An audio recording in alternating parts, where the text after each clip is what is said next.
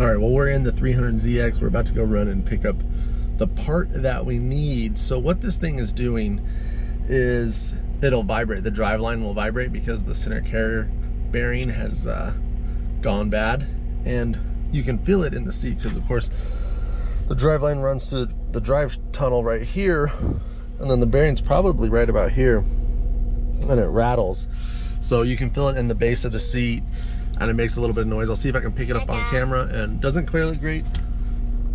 Hi. Yeah, she was in a wedding last night and she felt she needed to wear her dress again today. So she's rocking her little, uh, what's that, flower girl dress. We're gonna go pick up some car parts and hopefully we'll get this fixed today. It's just one more thing to make this car more reliable and uh, keep it operating for years to come. So Wow. you can hear that. Slow down. Slow down. Whoa, that was so fast. That was so fast. So the more you give it gas, the more that vibrates. So I really don't want it to come undone, but I'll try and get.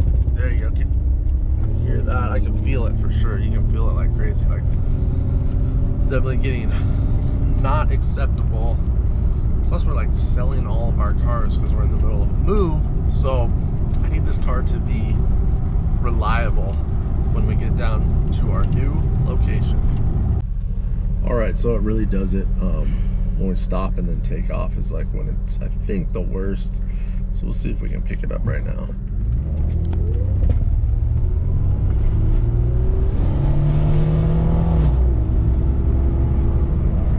I could definitely feel it. I don't know if you can hear it. You can hear it inside the car. I don't know how good the camera's gonna do about picking it up, but it makes like could do like a clunking sound sometimes, but. Uh, like a vibrating sound, like something's knocking around. And then you can feel it in your seat. If you're having this problem, you will feel it in your seat. And you'll be like, what's going on?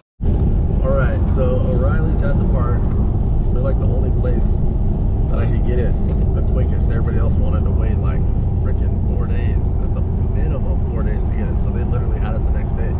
Tell you what, um, O'Reilly's has definitely been coming through lately. That's like my go-to place to get these like kind of you know OEM replacement parts that are just part store parts.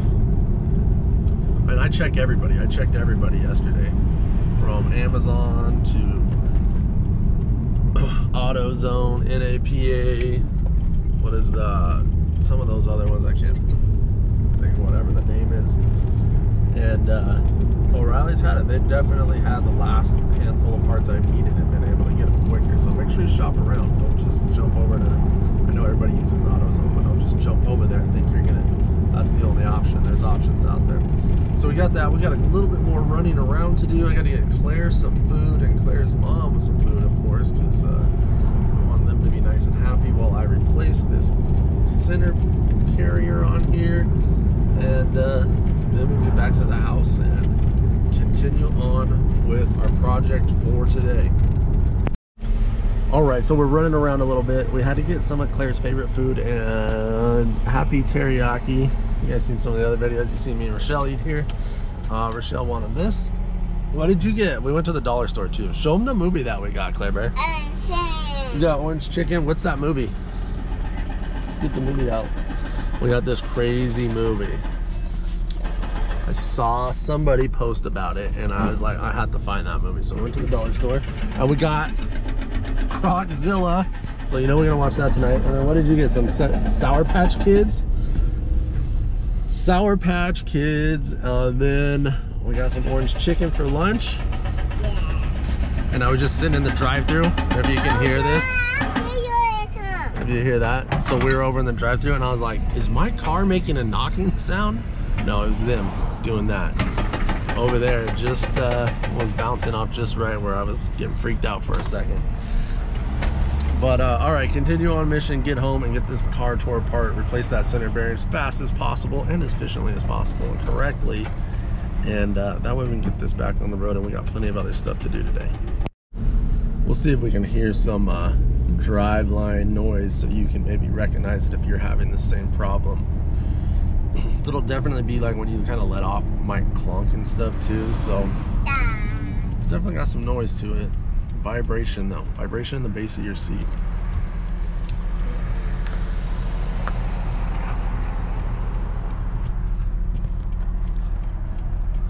There's our gauge cluster that does not work.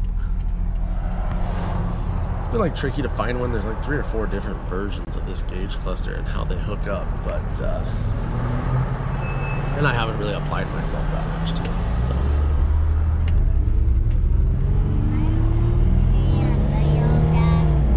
so definitely vibration. I don't know if it could hear it, but it was a ton of vibration on that. Mostly from like start and stop, or mostly from start to wait, from stop to start. You get a lot of vibration. Let's see if we can hear it clunking. Yeah, I can hear it. I doubt the camera's gonna pick it up, but if you're hearing that, just stuff rattling around, that's what it is, and uh, this is how we're gonna fix it. All right, well, it's a little messy out here, but this is our part. Here's the part number, bam. And uh, this is what it looks like. So this is the part we'll be replacing.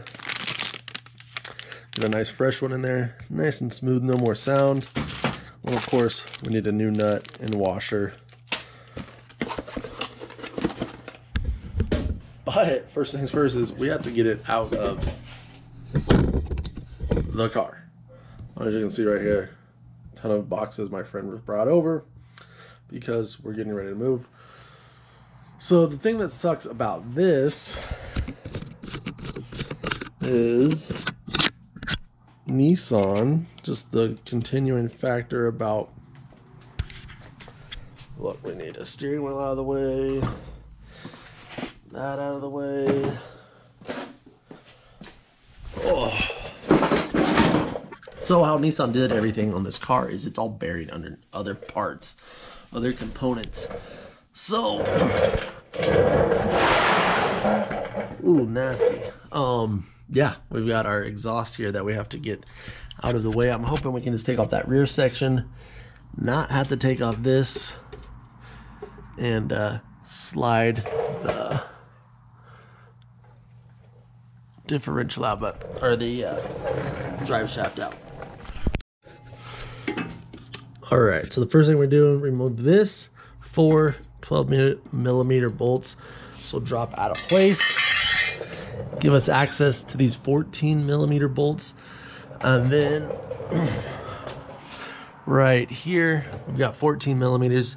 These are studs with nuts on it, so we just zip those off, four of those, so we can disconnect this center section of exhaust and get to our drive line. And of course, while you're down here, we can take a minute to appreciate all the hard work I did in getting this subframe painted. We don't get to see it all the time, but when we do, I'll actually wipe that down too. All right, well, now we got that exhaust off.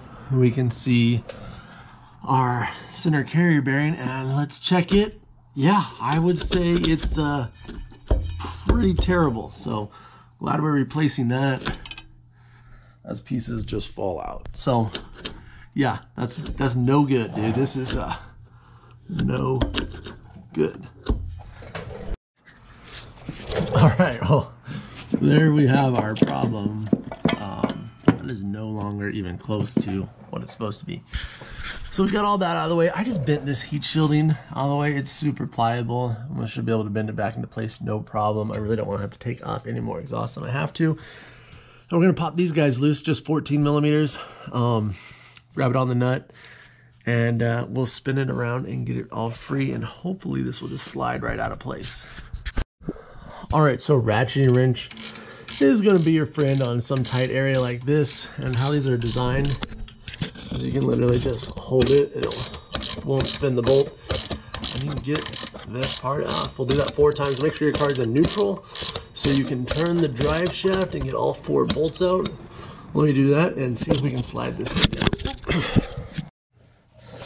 all right, so yeah, we just unhooked this from the final drive differential. Uh, this thing just slid right out. It was begging to come out. We'll take a look. Now you can see this bearing is straight up garbage. So good thing we're doing this. If you're having these problems on your Z, highly recommend this is extremely dangerous to be driving around like this so highly recommend you get it fixed i'll take this apart get it over to the press get this new stuff back on there. This really isn't taking that much time at all. All right, so we just got our drive line out. This is just ridiculous. So we're gonna break this thing apart right here. But before we do that, I'm gonna match mark this. This white doesn't work very great. One of my red one, but I think we threw it away. Let me see if I can find a better marker. This one's not gonna work great on there. All right, well, we got the two halves separated. Boom, one and two. And this is the part we need to work on. So we're gonna have to unstake this nut right here, get that bent out, and then take this nut off, try it with the impact gun.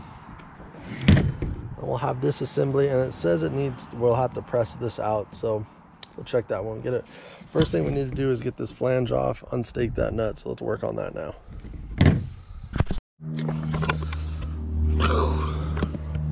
All right, she's off. So what I did was just smack it a few times with this the best I could. You'll only be able to do so much.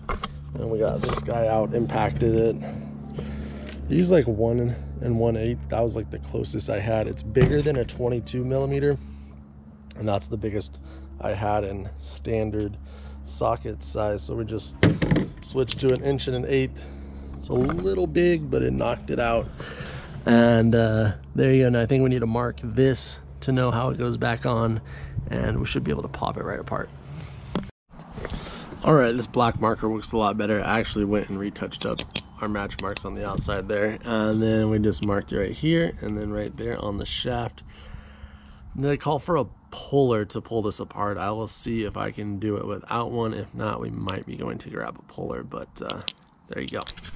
Claire's still in her beautiful flower dress, making who knows what. And so, no puller, but we are going to use this press and it's just gonna press itself right on out. Let me set this camera down and you can watch. Watch. Watch the magic happen.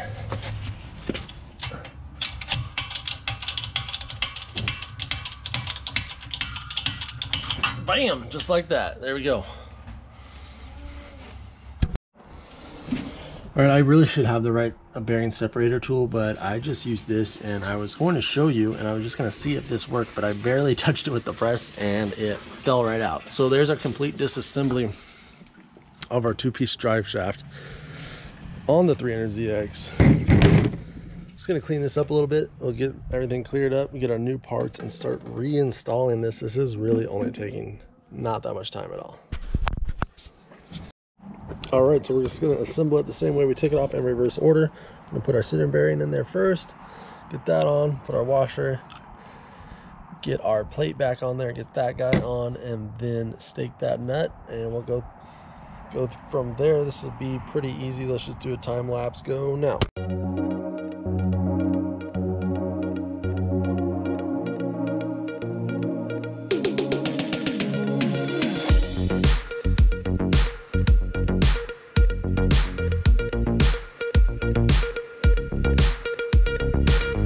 All right, well, we got it back together. Put this nut on there, suck everything together. What sucks is we literally have to use the same nut that we took off there because uh, the one that came in the kit was too small and I don't have time to get another one of these and I don't even know if you can get this nut by itself. So not preferred, definitely not preferred. You're never supposed to use these twice, but you know, not a perfect world. this is the kit that like was available. I got this one at O'Reilly's. Was the one available at AutoZone, the one available at NAPA, the one available on Amazon. All were the same kit. So that nut does not fit. This is the nut it came with. It's much too small. I was worried about that. So I'm not super worried about it on this project because we are going to be getting a different drive line once we do a manual swap. This is just for right now. We've got it staked back into place. Don't think we'll have any issues with it, but it's not the preferred way to do it.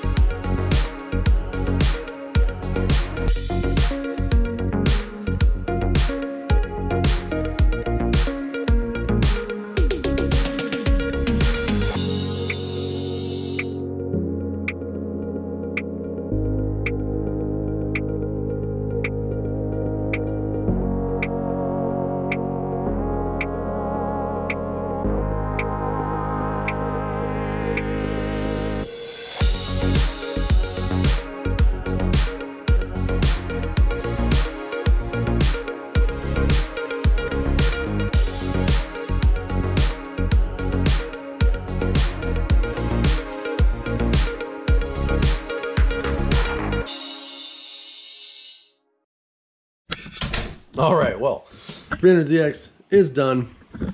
Back on the ground. It really didn't take too long to do that service. It's a very important service.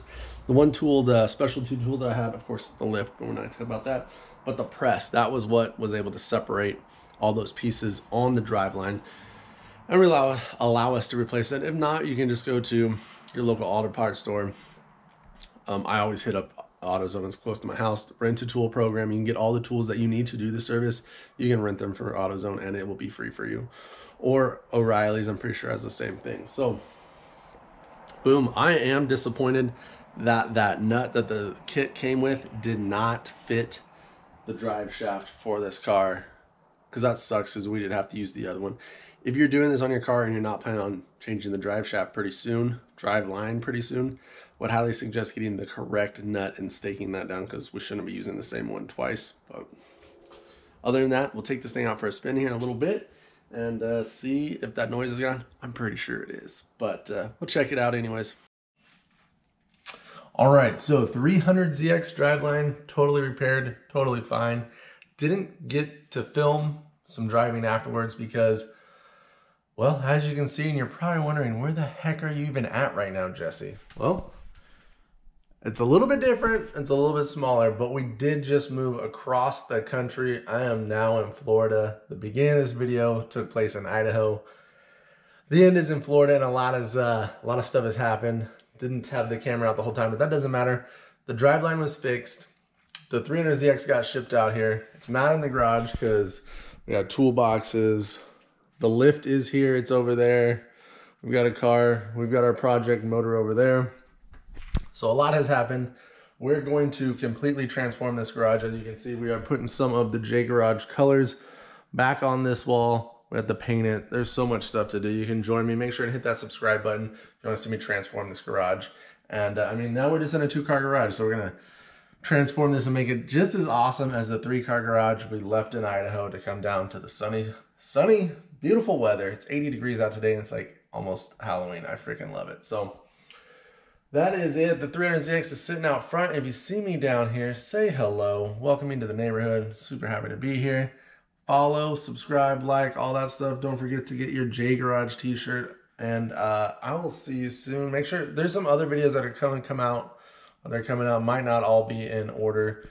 Might see me back in Idaho before we start seeing more Florida footage. But uh, I'll talk to you guys soon.